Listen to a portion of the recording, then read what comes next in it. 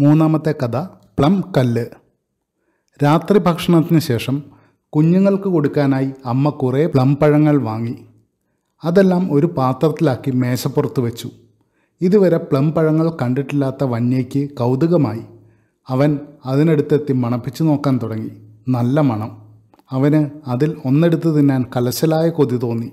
മുറിയിൽ ആരുമില്ലാത്ത തക്കം നോക്കി കൊതി സഹിക്കാനാവാതെ വന്യ അതിൽ ഒരെണ്ണം എടുത്ത് കഴിച്ചു. കുറച്ചു കഴിഞ്ഞപ്പോൾ അമ്മ എണ്ണി നോക്കിയപ്പോൾ ഒരെണ്ണം കുറവുള്ളതായി കണ്ടു.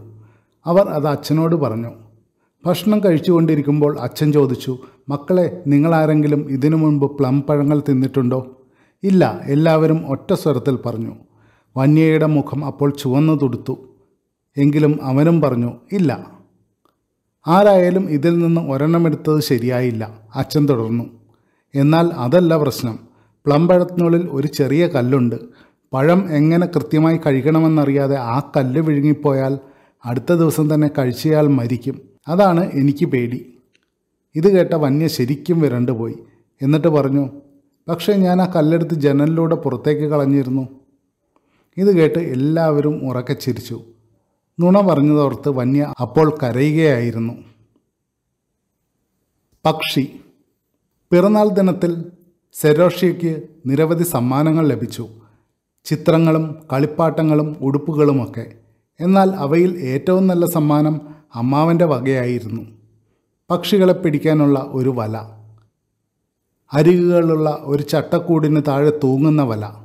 ചട്ടയിലേക്ക് ധാന്യങ്ങളിട്ട് മുറ്റത്ത് കാത്തിരുന്ന് കുറച്ച് കഴിയുമ്പോൾ തന്നെ ഏതെങ്കിലും പക്ഷി വന്നിരിക്കും. അപ്പോൾ തന്നെ വല താനെ അടയും.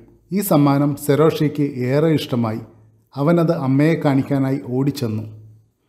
ഇതൊരു ചീത്ത കളിപ്പാട്ടമാണ്. അമ്മ പറഞ്ഞു എന്തിനാ പക്ഷികളെ വെറുതെ പിടിക്കുന്നത്? എന്തിനാ അവയെ വേദനിപ്പിക്കുന്നത്? സരോഷിയ പറഞ്ഞു ഞാൻ അവയെ ഒരു കൂട്ടിനുള്ളിലാക്കും. അവ എനിക്ക് വേണ്ടി പാടും. ഞാൻ അവർക്ക് ഭക്ഷണം കൊടുക്കും. തുടർന്ന് സെരോഷിയ കുറച്ച് ധാന്യങ്ങൾ സംഘടിപ്പിച്ചു. അവ ചട്ടിയിലേക്കിട്ട് വലയെടുത്ത് മുറ്റത്തേക്ക് ഓടി. അതവിടെ ഒരു മരത്തിൽ വെച്ചു. കുറേ നേരം കാത്തിരുന്നിട്ടും ഒരു പക്ഷി പോലും അവിടേക്ക് വന്നില്ല.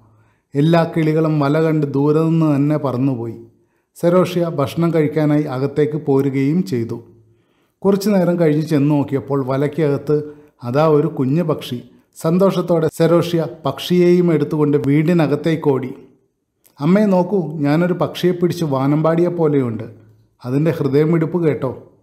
സരോഷിയെ നീ അതിനെ ഉപദ്രവിക്കരുത്. അതിനെ പറത്തിവിടുന്നതാണ് നല്ലത്. ഇല്ല ഞാനിതിന് ഭക്ഷണം നൽകും. നന്നായി വെള്ളവും കൊടുക്കും.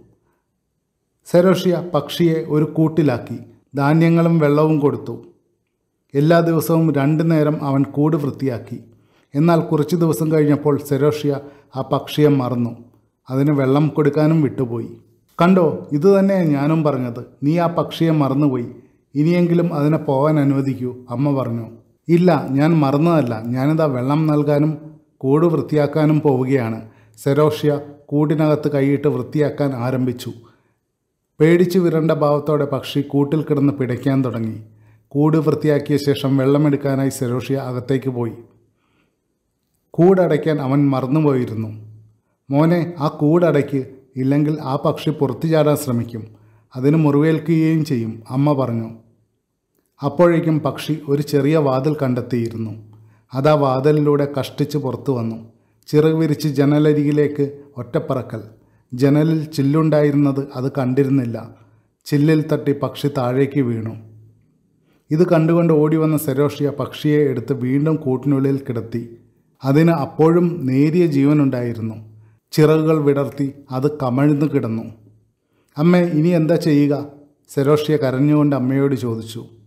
ഇനി നിനക്കൊന്നും ചെയ്യാൻ കഴിയില്ല അമ്മ പറഞ്ഞു. സെരോഷ്യ സങ്കടത്തോടെ ആ ദിവസം മുഴുവൻ കൂടിനരികിൽ കഴിഞ്ഞു. ആ കുഞ്ഞു പക്ഷി വേഗത്തിൽ ശ്വാസം വലിച്ചുകൊണ്ടേയിരുന്നു. കൊണ്ടേയിരുന്നു സെരോഷ്യ ഉറങ്ങാനായി പോകുന്നതുവരെ അതിന് ജീവനുണ്ടായിരുന്നു. അന്ന് രാത്രി സെറോഷ്യയ്ക്ക് ഉറങ്ങാൻ കഴിഞ്ഞതേയില്ല. കണ്ണടയ്ക്കുമ്പോഴെല്ലാം ആ പക്ഷിയുടെ രൂപം കണ്ണിന് മുന്നിൽ തെളിഞ്ഞു. രാവിലെയായി സെറോഷ്യ നേരെ പക്ഷിക്കൂടിനടുത്തേക്ക് ഓടി. കാലുകൾ ശരീരത്തോട് ഇറക്കി മലർന്നു കിടക്കുന്ന രൂപത്തിൽ ചത്തുകിടക്കുകയായിരുന്നു പക്ഷിയപ്പോൾ. അതിനുശേഷം പിന്നീടൊരിക്കലും സെരോഷ്യ പക്ഷിയെ പിടിച്ചിട്ടില്ല.